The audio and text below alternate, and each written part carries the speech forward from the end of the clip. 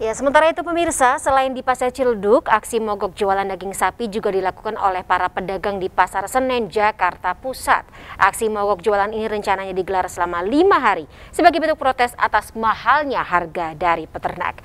Informasi selengkapnya pemirsa dia akan dilaporkan oleh rekan Nasta Syafrina dari Pasar Senen, Jakarta Pusat berikut ini. Pemirsa, aksi mogok yang dilakukan oleh sejumlah pedagang daging sapi yang ada di Pasar Senen, Jakarta Pusat ini seharusnya dibatalkan. Namun untuk saat ini pemirsa, aksi mogok jualan tersebut masih tetap dilakukan oleh seluruh penjual daging sapi yang ada di Pasar Senen, Jakarta Pusat. Hal ini terjadi lantaran daging sapi yang melambung tinggi sepekan terakhir yaitu berada di angka Rp160.000 per kilogramnya yang mana pada mulanya ini masih berharga Rp120.000 per kilogramnya ini.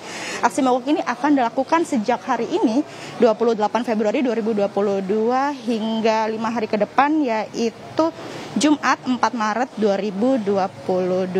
Para pedagang pun juga berharap setelah adanya aksi mogok jualan ini pemerintah dapat mendengar aksi mereka dan dapat menyelesaikan masalah terkait tingginya harga daging pas harga daging sapi yang ada di pasaran ini.